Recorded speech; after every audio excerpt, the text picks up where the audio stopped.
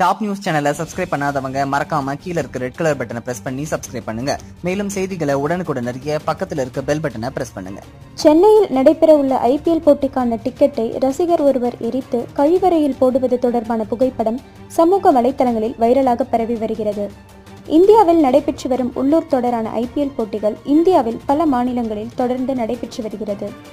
இத்தொடரில் பங்கேற்றுள்ள எட்டு அணியும் அதன் சொந்த மண்ணில் மற்ற அணிகளுடன் ஒவ்வொரு முறை மோதும்.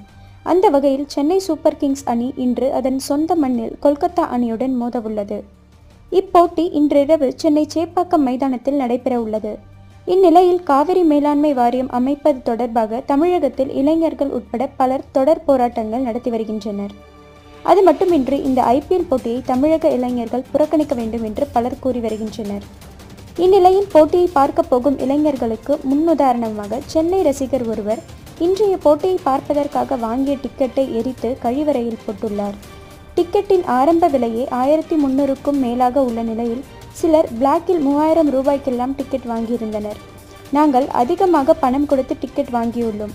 அதை எப்படி எங்களால் போகாமல் இருக்க முடியும் என்று பலர் கூறி வரும் நிலையில் இந்த இளைஞரின் செயல் வைரலாக பரவி வருகிறது. இந்த தகவல் உங்களுக்கு பிடிச்சிருந்தா லைக் பண்ணுங்க கமெண்ட் பண்ணுங்க. மறக்காம கீழே இருக்க ரெட் கலர் சப்ஸ்கிரைப் பட்டனை பிரஸ் பண்ணி டாப் நியூஸ் சேனலுக்கு சப்ஸ்கிரைப் பண்ணுங்க. நன்றி வணக்கம்.